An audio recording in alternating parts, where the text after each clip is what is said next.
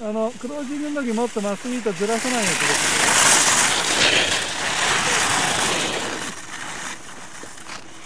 にだってこの間ピーステンが来てカイト2時ぐらいに起きて窓開けて。ね。えねえみんな起きたらしいよ。迷惑おまけそれで窓開けっぱで寝ちゃったらしいじゃん。行ったら窓全体に開いてたんだって。やばいそれ。あの日寒かったじゃん